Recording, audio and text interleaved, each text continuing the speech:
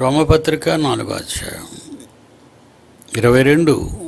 అబ్రహాము నీతిమంతుడు విశ్వాసులందరికీ తండ్రి. ఏ క్రియలు చేయకపోయినా నమ్మినందువలన నీతిమంతుడుగా తీర్చబడ్డాడు. మొత్తం అంత అధ్యాయం అంతా అదే. దేవుని కోసం ఏ పని చెయ్యకపోయినా ప్రారంభంలో దేవుని నమ్మాడు.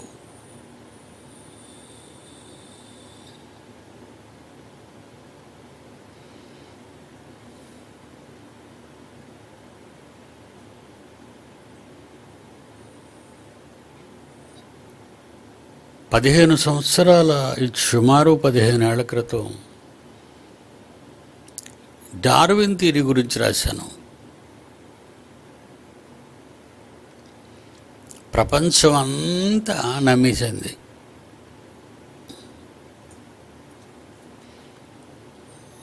సింహాగర్జంలో డార్విన్ థియరీ గురించి రాసిన కవర్ పేజ్ ఏమైనా చూపించగలిగితే ట్రై చేయండి. డార్విన్ థియరీ ఆదిమానవ జన్మస్థలం ఆసియా పాఠంలో చెప్పారు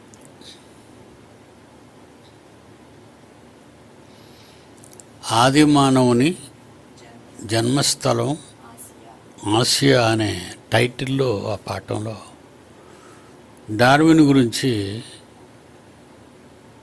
ఆ బొమ్మలు వేశారు. ఇంగ్లీషులో ఇంగ్లీష్ దాంట్లో చక్కగా ఉంది. తెలుగులో చక్కగా ఉంది. హిందీలో చక్కగా ఉంది. మనిషి ఆదాము నుండి మనిషి నుండి వచ్చాడు కానీ కోతు నుంచి రాలేదు అని. నమ్మలేదండి. నేను చెప్తే నమ్మలేదండి. నేను చెప్తే ఎప్పుడు నమ్ముతారు? నాకు ఏవైనా నోబుల్ బహుమతి వచ్చినా ప్రపంచంలో ఏదైనా పెద్ద పెద్ద పురస్కారాలు నాకు వచ్చినా అప్పుడు నేను అబద్ధం చెప్పినా నమ్ముతారు.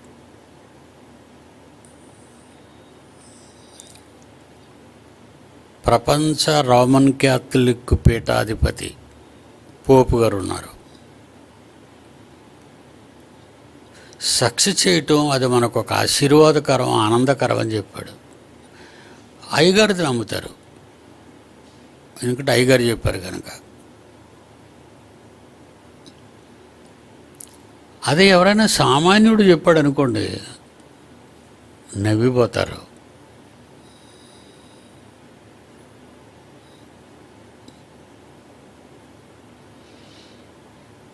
మనిషి మనిషి నుంచి వస్తాడు. కోతి నుంచి రాడు. అని వివరంగా రాశాను. ఎందుకు రాడో వివరంగా రాశాను. నేను రాసిన దాన్ని బట్టే పాట రాసి పాట రాశాడు. నమ్మలేదు జనం. నమ్మిక లేదు జనానికి. నేను దేవుణ్ణి నమ్మాను. దేవుడు చెప్పినది నిజం అని.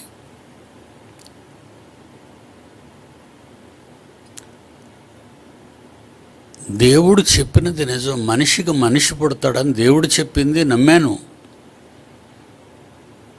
ప్రారంభంలో కయ్యను పుట్టడం నాకు తెలీదు. ప్రారంభంలో కయ్యను పుట్టడం తెలీదు హేవేలు పుట్టడం తెలీదు.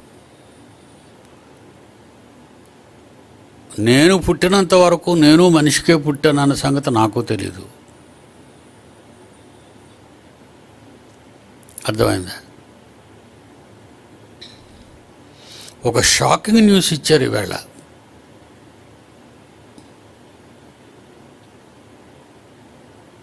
ఒక షాకింగ్ న్యూస్.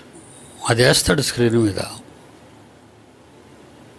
బొమ్మ పెద్ద చేయి.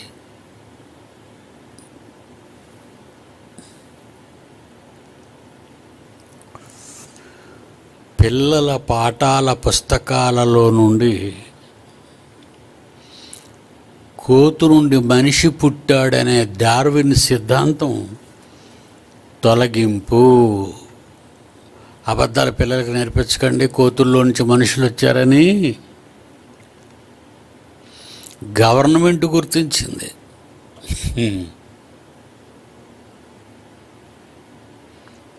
శాస్త్రవేత్తలు గుర్తించారు. ఇప్పుడా గుర్తించారు శాస్త్రవేత్తలు.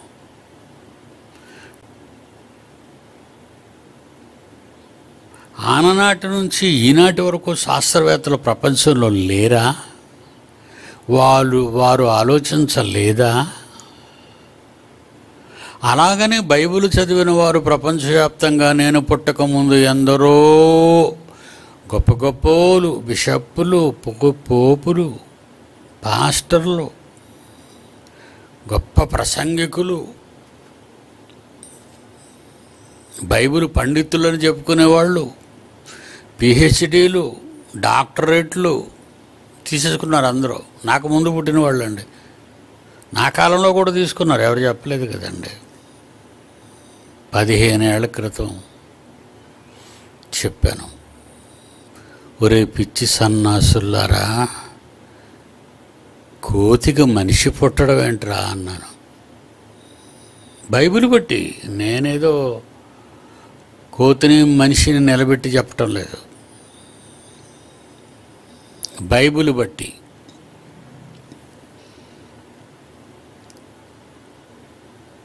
విద్యార్థుల విద్యార్థుల భవిష్యత్తుపై గొడ్డలి పెట్టు. ఎందుకంటే మనిషి కోతి నుంచి వచ్చాడని ఎందరో నేర్చుకొని అందరూ పోయారు చచ్చే చచ్చిపోయారు వాళ్ళు. ఇప్పుడు విద్యార్థులు కోతి నుండి మనిషి వచ్చాడని చదువుతున్నారు. పదో తరగతి సిలబస్ నుంచి పాఠాల్లో నుంచి సిలబస్లో నుంచి టెక్స్ట్ బుక్లో నుంచి పాఠాల్లో నుంచి డార్విన్ సిద్ధాంతాన్ని తొలగించాలన్న కేంద్రం నిర్ణయం విద్యార్థుల భవిష్యత్తుపై గొడ్డలు పెట్టు వంటిదని దేశవ్యాప్తంగా శాస్త్రవేత్తలు విద్యావేత్తలు ఆగ్రహం వ్యక్తం చేస్తున్నారు. కోపం చేస్తున్నట్టు వీళ్ళందరికీ పాఠాల్లో నుంచి ఎందుకు తీశారని. అంటే ఇలాగ అడిగిన వీళ్ళ వీళ్ళ గురించి నేను మాట్లాడుతున్నాను ఎవరెవరు వాళ్ళు. దేశవ్యాప్తంగా శాస్త్రవేత్తలు విద్యావేత్తలు వీళ్ళు ఈ రెండు తెగల వారిని ప్రశ్నిస్తున్నాను. మిమ్మల్ని కన్నవి కోతులా మనుషులా? నేను ప్రశ్నిస్తున్నానండి. Bible open city. Bible open city ప్రశ్ ప్రశ్నిస్తుంది. Bible open university India international అంటాం. అందుకే మన దాన్ని మన దాన్ని విశాఖపట్నం అనకండి. ఇంటర్నేషనల్ ఇది. ప్రపంచవ్యాప్తంగా ఉన్నది. ప్రపంచవ్యాప్తంగా అన్ని విశ్వవిద్యాలయాల కంటే గొప్పది.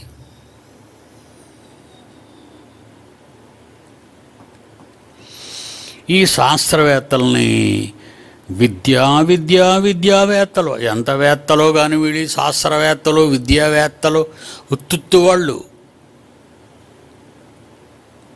వీళ్ళు అంటున్నారు ఆగ్రహం దేశవ్యాప్తంగా వ్యక్తం చేస్తున్నారు కోపాలు వచ్చేస్తున్నాయి వాళ్ళకి. అంటే మనం అంత కోతుల నుంచే కదా వచ్చాము. మనల్లేట్రా మనుషుల నుంచి వచ్చాము అంటున్నారు అంటున్నారు. ఏమండి? వీళ్ళ ఆగ్రహానికి ఏవైనా సెన్స్ ఉందా? బుద్ధి ఉందా? అని పిడి సుందర ప్రశ్నిస్తున్నాడు.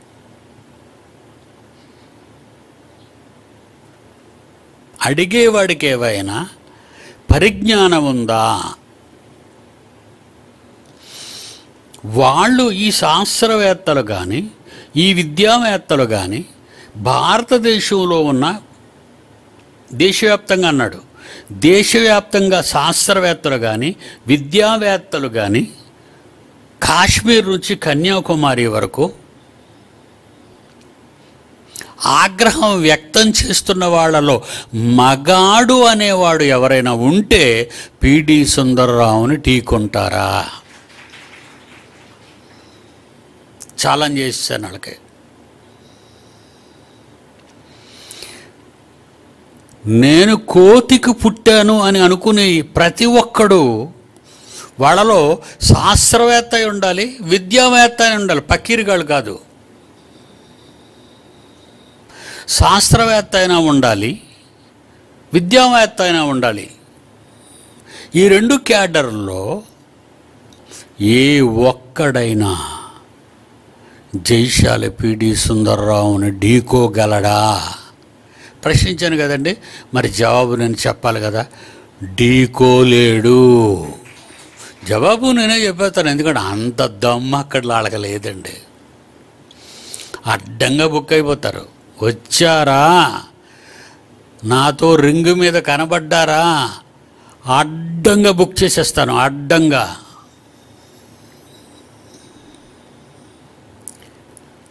మీ అమ్మా నాన్నలు కోతుల మనుషుల అని. ఒకటే ప్రశ్న ఇంకొక రెండో ప్రశ్న ఇంకేముంటుంది? ఆర్గ్యుమెంట్ ఏమీ లేదు. మీ అమ్మ కోతి పేరు ఏం పేరు? మీ నాన్న కోతి పేరు ఏం పేరు?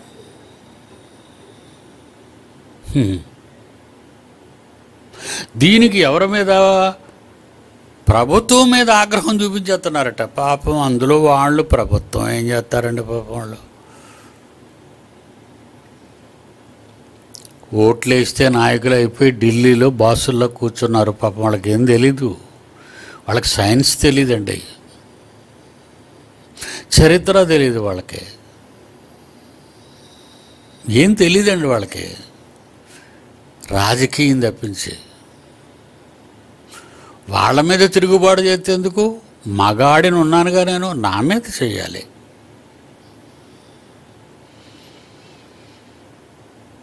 పదిహేను సంవత్సరాల క్రితం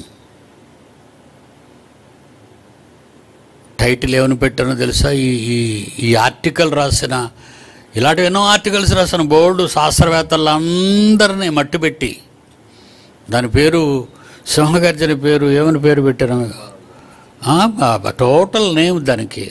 నూతన సహస్రాబ్ది నూతన సహస్రాబ్ది అజ్ఞానంపై జయశాలి సింహగర్జన. జైశాలి పిల్లి కోత అని రాయలేదు. సింహగర్జన. అది కాపీ కొట్టేస్తున్నారు అందరూ సింహగర్జన సింహగర్జన సింహ సినిమా వాళ్ళు కాపీయే రాజకీయ వాళ్ళు కాపీయే. ప్రతివాడు కాపీ సింహగర్జన. జైశాలి సింహగర్జన ప్రపంచ మేధావులారా. కబడ్దార్. ఎవడంటాడండి? ఏ మగాడంటాడండి? కబడ్దార్ ఏ మగాడని చెప్తాడా?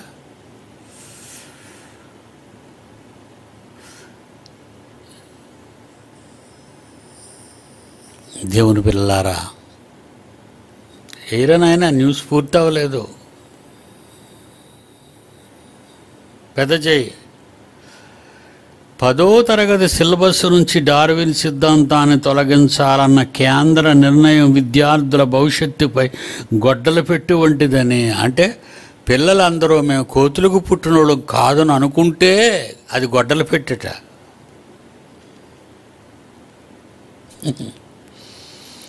విద్యార్థులకు గొడ్డలు పెట్టా. విద్యార్థులకి పాపం. అమాయకులండి పిల్లలు ఉండేవాళ్ళు. ఒరే నువ్వు కప్ప నుంచి పుట్టావన్నా నమ్ముతారు పురుగు నుంచి పుట్టావన్నా నమ్ముతారు కోతు నుంచి పుట్టావన్నా నమ్ముతారు. నువ్వు చిన్నప్పటి నుంచి ఇలాటో నేర్పించేస్తుంటే వాళ్ళు ఇప్పుడు పెద్ద అయిపోయాక నీకు చాలా నేర్పిస్తున్నారు. నిన్ను ఒక ఆట ఆడించడం లేదా? స్కూల్ బ్యాగుల్లో నిత్యావసర వస్తువులు పెట్టుకుని బడికి రావట్లేదు వాళ్ళు? కండోములు డ్రగ్స్. ఏమండి? కండోములు మందు సీసాలు గర్భనిరోధక మాత్రలు. సరే పిల్లలు ఎంత పెద్దలు అయిపోయారు కోతు నుంచి పుట్టావని ఇలాంటి పనికి మాలిన జ్ఞానాన్ని చిన్నప్పటి నుంచి అమాయక పిల్లల హృదయాలలోనికి చూపించిన మీ చదువు తగలెట్ట. ఇదే ఆ పిల్లలకు నేర్పించే చదువు.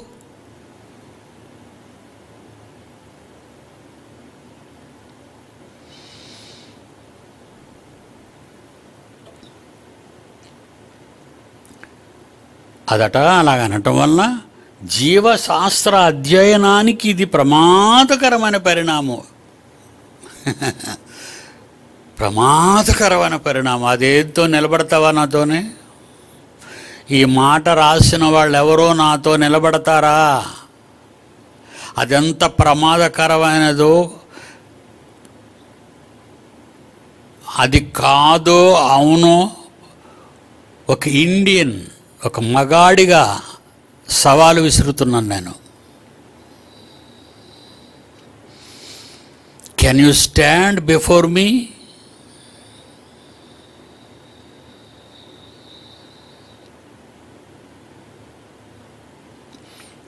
ఇలాంటివన్నీ చెప్పి మళ్ళా నిద్రపోతున్న సింహాన్ని మీరు లేపుతున్నారు. ఐదేళ్ళగా నిద్రపోతున్నాను. వేదికల మీద రింగులోకి రావటం లేదు నేను. వేదికల మీద మాట్లాడడానికి ఎవరికి తేదీలు ఇవ్వటం లేదు. సింహం విశ్రాంతి తీసుకుంటుంది. మళ్ళా లేపుతారా సింహాన్ని? లేపితే మీరు రావాలి ముందుకి లేపేసి పారిపోవడం కాదు. సింహం మీద రాయేసి పారిపోవడం కాదు చెట్టెక్కిపోవడం కాదు. ముందుకొచ్చే మగతనం ఉండాలి. ఇది సింహం. మీరు చాలా సింహాల సినిమాల్లో చూస్తుంటారు యాక్టింగ్ సింహాల యాక్టింగ్ సింహాలు అవన్నీ. గ్రూప్ సింహాలు అవన్నీ.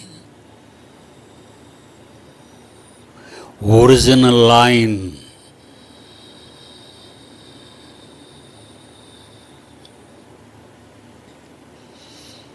ఏరా బాబు నీకు ఒక నమస్కారం న్యూస్.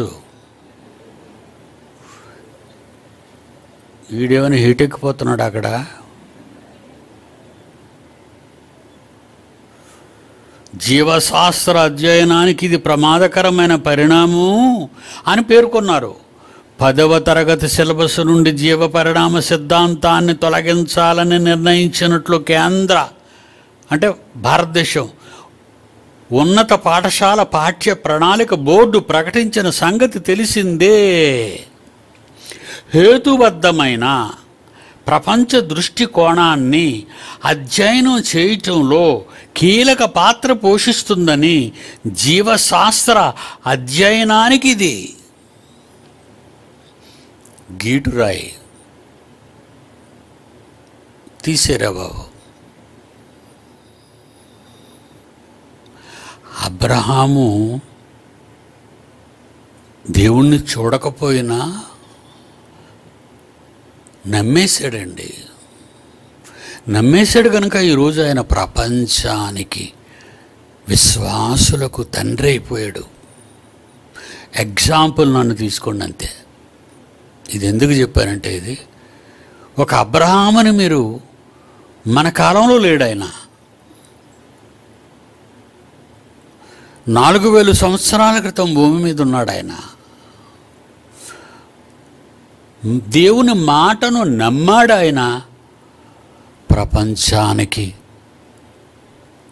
విశ్వాసంలో సింహముగా నిలబడ్డాడు. విశ్వాస సింహం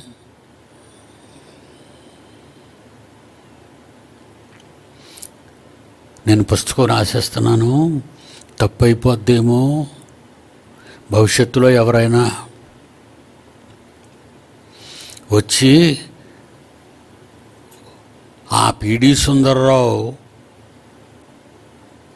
చెడుస్తే మాత్రం నా పేరు బయటకు వచ్చేస్తుందండి. చెడు రానంత వరకు సైలెంట్ అయిపోతారు వాళ్ళు. ఆ పిడి సుందర్రావు కోతు నుంచి వచ్చాడని కోతు నుంచి రాలేదని రాశాడు కదా మనకి పుస్తకాన్ని. పెద్ద పుస్తకం అట.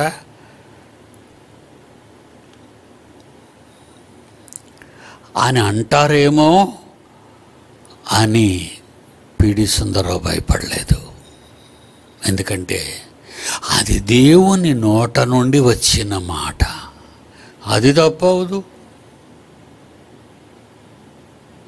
ఒరే ఎలి ఎలియన్స్ లేవురా బుద్ధిహీనులారా అని అమెరికాలో ఉన్న నాసా వాళ్ళకి ఎన్ని కేకలేసినా ఉన్నాయి ఉన్నాయి ఉన్నాయి ఉన్నాయి ఉన్నాయి ఉన్నాయి ఉన్నాయి అంటున్నారు వాళ్ళు ఒరే గ్రహాలలోకి వెళ్తే బతకలేరురా.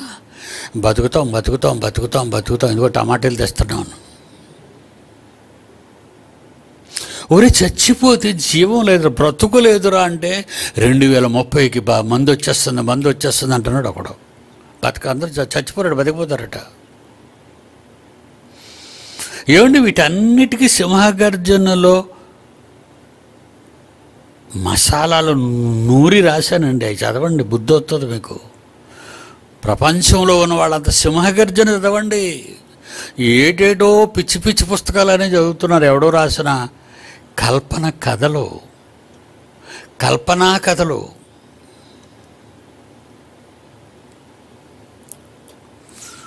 ఎక్కువగా పనికి మాలిన యూదులలో నుండి వస్తుంటాయి. ఆ జెలెన్ మస్క్ అనేవాడు? Elon Musk. ప్రపంచ కోటీశ్వరుడు. ఇప్పుడు వాడే అంతరిక్షంలో ఇల్లులై కడతాడట గ్రహాల మీద పంటలై పండించేసి. మిమ్మల్ని అందరినీ తీసుకెళ్ళిపోతారు అక్కడికి. ఆయన చూడగానే నవ్వు వస్తుందండి. ఇది ఏ సర్కస్లో బఫూనని? నాసా సర్కస్లో బఫునీడు. ఆ నాసాలో ఉన్న వాళ్ళందరూ సైంటిస్టులు ఎలాంటి తెలుసండి? మెంటల్ హాస్పిటల్లో ఉన్న ఎర్రోళ్ళు అంటున్నాళ్ళు. ఏమండి ఎంత దారుణంగా మాట్లాడుతున్నాను. ఎవరికి రోషం రావట్లేదు వాళ్ళు ఎవరికినే? మేము అమెరికాలో సెటిల్ అయిపోయాం. మేము అమెరికాలో ఉంటున్నాం. అమెరికా మహాజ్ఞానంతో కూడుకున్న దేశం. ఎవరు వినరా? పట్టదా మీకు?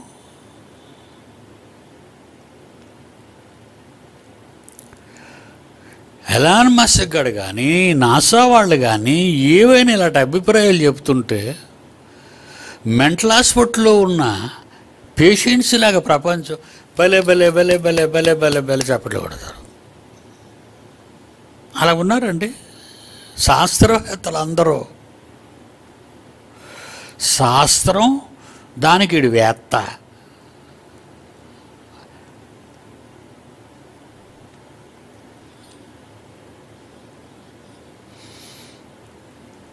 విశ్వస్ విశ్ విశ్వాసానికి సింహం. నమ్మాడండి ఆయన నమ్మి ఇరవై రెండవ వచనం నాలుగో అధ్యాయం రోమపత్రిక.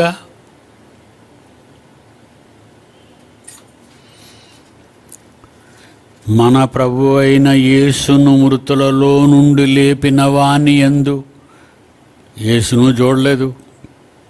ఆ లేపిన వాణ్ణి మనం చూడలేదు. అబ్రహాము చూడలేదు. మనము చూడలేదు. బాగా వినాలి. మన ప్రభు అయిన యేసును మృతులలో నుండి లేపిన వాని యందు విశ్వాసముంచిన మనకు ఎంచబడునని మన నిమిత్తము కూడా వ్రాయబడెను. ఆయన గర్భంలో ఆయన వాళ్ళం అయిపోయాం మనం కూడా. మనం కూడా నమ్మేసిన వాళ్ళం మనం కూడా సింహాలం వీరకిషోరులు. వీరకిషోరాలు క్రైస్తవులు. అందరూ కాదండి మీరే. ఇది చూస్తున్నవాళ్ళు ప్రపంచవ్యాప్తంగా నెట్టను వీక్షిస్తున్న మీరే. వీర విశ్వాస కిషోరాలు అడిసింహాలని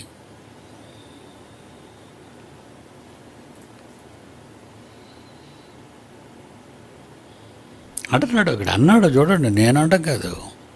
ఆయన అంటున్నాడు మీరు నమ్ముతారా ఇప్పటికైనా మాట? నమ్మకపోతే అందరిలాగా బలిబలే బలిబలే బలిబలే చచ్చిపోయినంత వరకు ఇలా చప్పట్లు కొట్టుకుని ఉండడం పని? నమ్మారా మేధావులు అవుతారు వాళ్ళ ఆళ్ళు కాదు మేధావులు శా శాస్త్రవేత్తలు. వాళ్ళు మేధావులు శాస్త్రవేత్తలు కాదు చచ్చుదద్దమ్మలు. మేధావులు శాస్త్రవేత్తలు కావాలంటే బైబులు పాండిత్యం మీ బుర్రకెక్కాలి. బైబిల్లో ఉన్న సైన్స్ మీ బుర్రకెక్కాలి.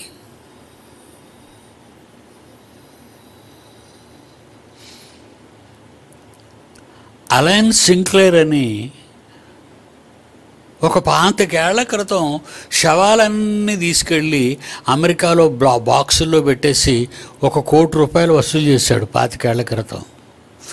ఎప్పటికైనా చావుకు మందు వస్తుంది అప్పుడు ఆ మందుని మేము దాచిపెట్టిన ఈ బాక్సులో ఉన్న శవాల్లోకి ఇంజెక్ట్ చేస్తాం.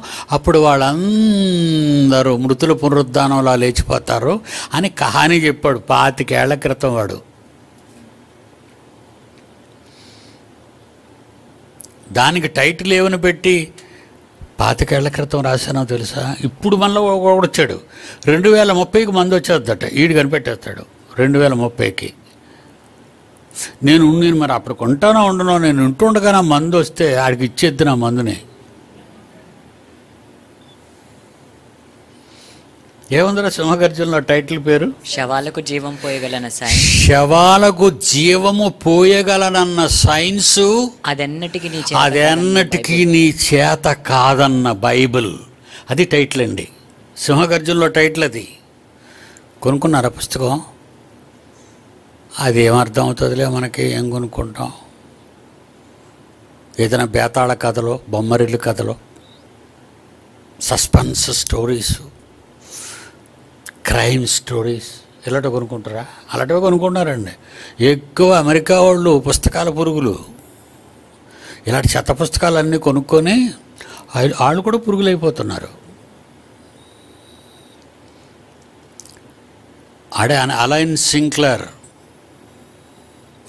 శవాలకు జీవము పోయగలనన్న సైన్స్ అది అన్నిటికీ నీ చేత కాదన్న బైబిల్. రెండు వేల ముప్పై అన్నాడే వాడికి కూడా ఇదే సవాలు. ఎవరు ప్రాణం పోయలేరండి. బైబిల్ చెప్పింది కదా మన్నైనది వెనుకట వలనే మన్నవను.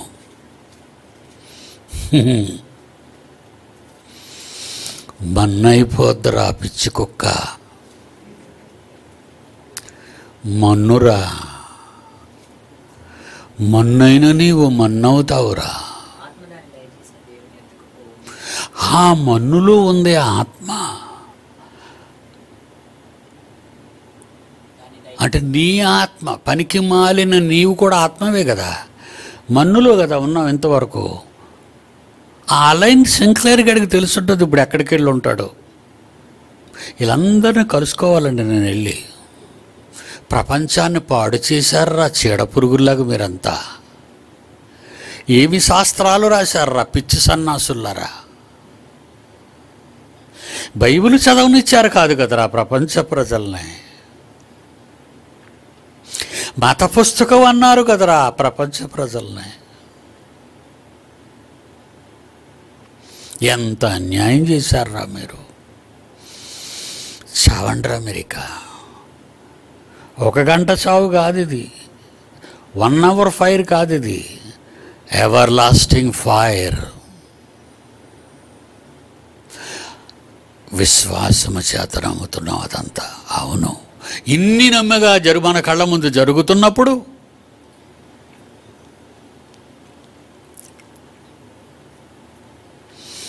ఇంకా చెప్పుకుంటూ పోతే మీరు తట్టుకోలేరు ఈ సైన్స్.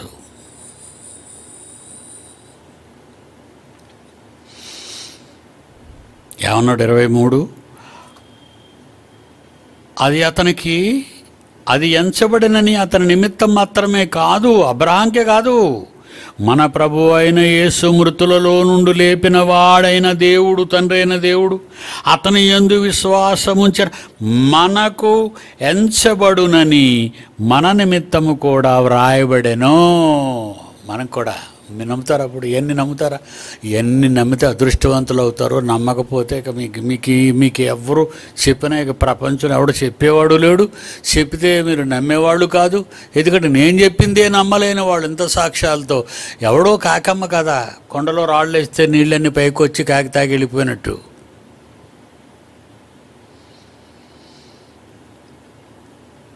ఎందుకే చేప ఎండలేదంటే గడ్డిమేడి చాటు వచ్చేదంటే రాజకుమారుడు చేపల వేటకెళ్ళడం ఏంటి? ఫిషరా? జాలారా రాజకుమారుడు? ఆ చేపను తెచ్చి ఎండబెట్టడం ఏంటి? అది ఎండకపోవటం ఎందుకు ఏంటి? ఎండకపోతే రాజంతట వాడెళ్ళి రాజకుమారుడు. ఎందుకే చేప ఎండలేదని అడగటం ఏంటి? ఆ చేపక మానవ స్వరంతో అదిగో ఆ గడ్డి చాటొచ్చింది అని చెప్పటం ఏంటి? ఆ గడ్డి దగ్గరికి వెళ్ళి అది గడ్డి అని తెలుసు కూడా రాజకుమారుడు ఎందుకు అడ్డొచ్చావు అని అడగటం ఏంటి?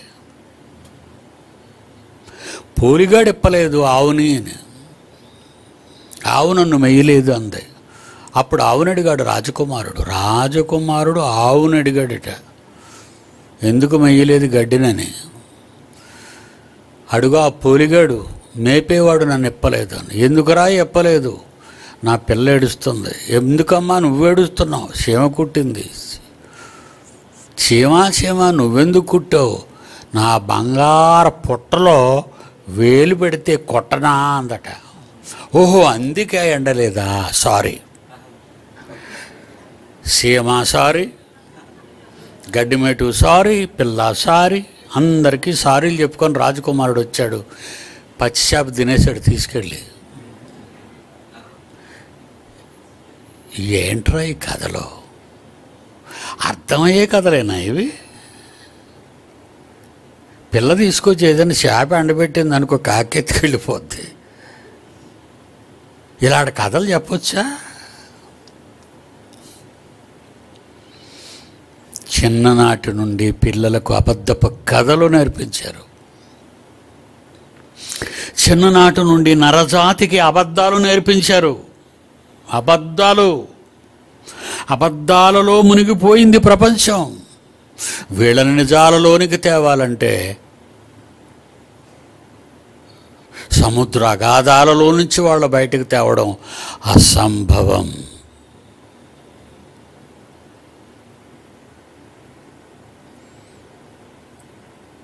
ఇరవై ఐదు చివరి మాట. ఆయన మన అపరాధముల నిమిత్తము క్రీస్తు అప్పగింపబడి మనము నీతిమంతులముగా తీర్చబడుటకై లేపబడెను. నమ్ముతున్నారా మీరు? మన కోసం యేసు మరణించి లేచాడండి. అబ్రహాము నమ్మాడు. నువ్వు నమ్మవా? పిడి సుందర్రావు నమ్మాడు. నువ్వు నమ్మ శాస్త్రాన్ని నమ్మలేదు పిడి సుందర్రావు. పనికిరాని ఆధునిక శాస్త్రాలను కాళ్ళతో తొక్కాడు. బైబిల్ నమ్ముతున్నాడు it is true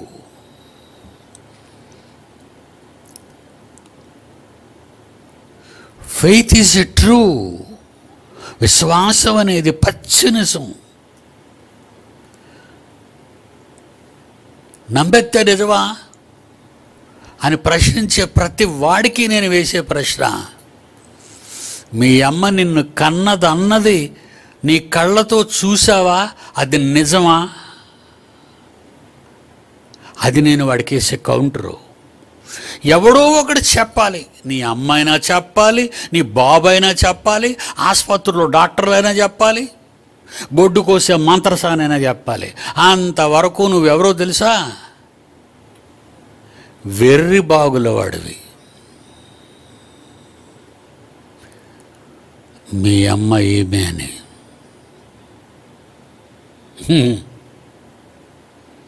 అక్కడ నమ్ముతావా? చూడకపోయినా? ఇక్కడ చూడకపోతే నమ్మవా? ఏ ఏం పోయే కాలం నీకు? ఆర్గ్యూ చేస్తావు దిక్కుమాలిన ఆర్గ్యుమెంటు. హేతువాదాన్ని నాస్తిక వాదాన్ని ఎడంకాళ్ళతో తొక్కేశాను పంతొమ్మిది వందల ఎనభై తొమ్మిది.